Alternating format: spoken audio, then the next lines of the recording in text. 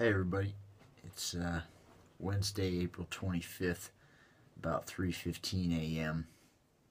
I've uh, back here in the aft repair area that I was working on last night.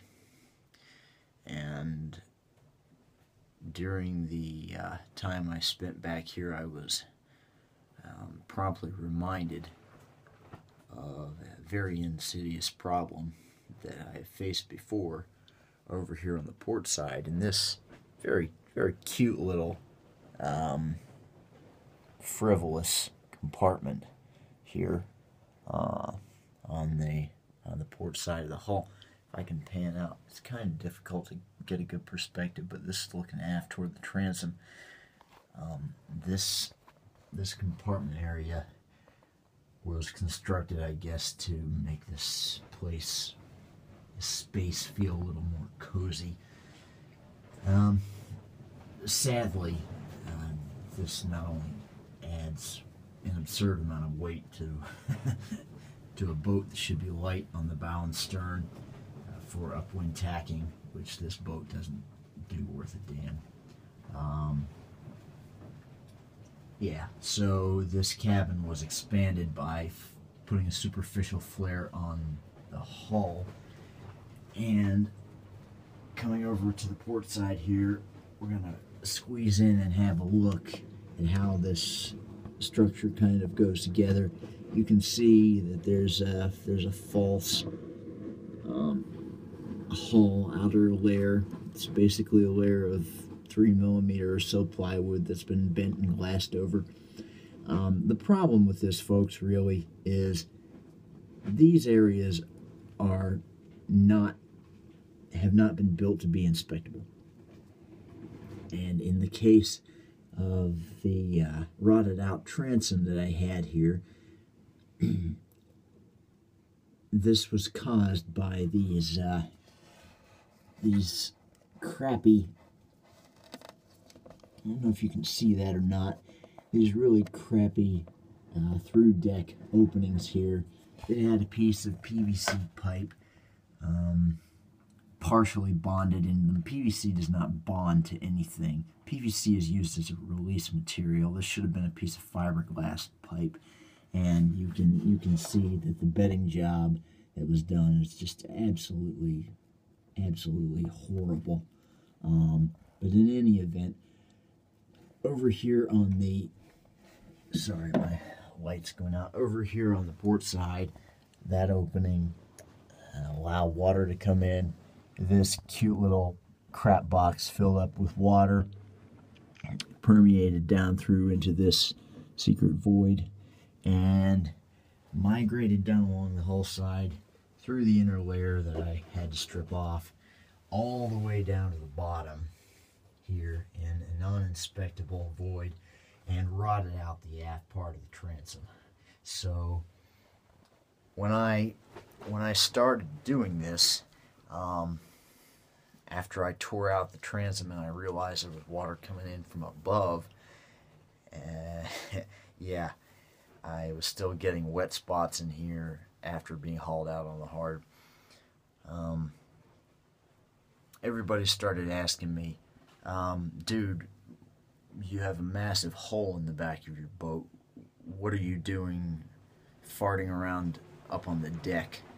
Um, and my response to that is is this: um, the opening that I just um, showed you here over on the starboard side in this uh, little secret void here was filling up with water last night and making this wet spot here on the inside of the hull as it permeated through a staple opening.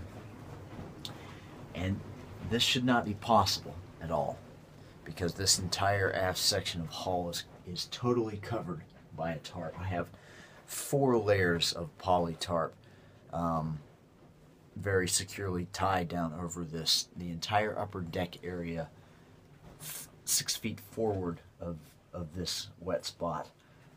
Um, it's completely covered. And what is happening is further forward in one of the beam openings up on the deck that has yet to be sealed up because um, pressure has been uh, directed toward repairing the big hole in the back. Um, water is migrating down along a glue joint up here and coming all the way back down in along this miniature bulkhead and down into this opening. I know this for a fact because if we take our let's see if I can find something here. All right. If we take a, a dipstick right here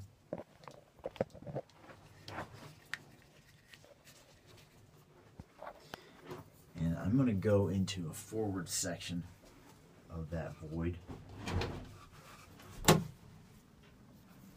I cut another inspection opening in here. I'm going to show you how deep these these things are. It's absolutely absurd. Come down in here, and yeah, that's like 10 inches, folks. Pull it out. All the way down in, we're dry as a bone. That's between this bulkhead and this bulkhead. I'll move back here into this area and we put this down in here all the way down in bring it up out and how about that I got an inch of stagnant water in there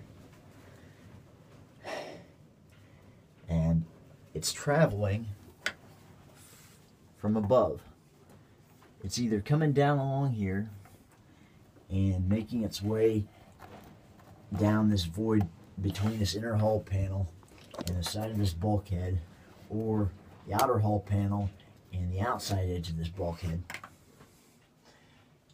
It's coming from somewhere well forward of, of this point, well forward of that point. So uh, I cannot emphasize enough the importance of having a watertight deck. It is it is absolutely imperative, uh, especially on an aging multi-hull. Um, these boats have tremendous, tremendous torsional loads, global torsion, as as I've heard it described, um, that gets imparted on the cross beams, um, the deck structures, and the connective areas uh, where the forward and aft connectives, if you're if you're Kurt Hughes, um, forward and aft crossbeam. If you're a desi designer like Chris White, you actually use more common terminology. Um, where these interface and, and connect to the inside of the hulls, uh, those areas have have tremendous forces imparted on them, and it is absolutely imperative that the core material in these areas is um, dry, regularly inspected, and maintained. Um, otherwise, these babies break apart. So, if you're getting a multi-hull, whether it be a podcat, catamaran, a roomaran, a trimaran, um, and it has a few years on it, you owe it yourself and your life to get a headlamp, get a drill, get a grinder, get in there with a vengeance, crawl into those amas, get down there in the bilges, get in anywhere you would even remotely suspect there would be a void.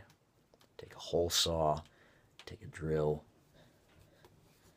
take a dipstick, whatever it takes, get into those unknown areas and inspect them carefully. And if you find even the slightest amount of wet anything, uh,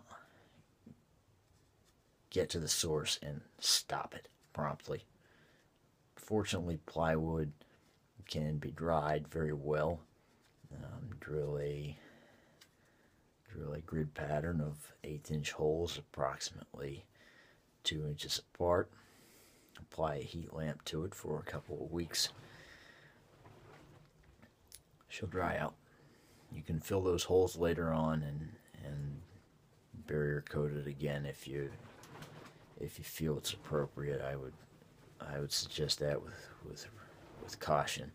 Um, it's nice if the inner layer is able to dry, but check these places. Know your boat. Your life will depend on it. All right, I'm going on 11 minutes here. Hope this was informative. Cheers.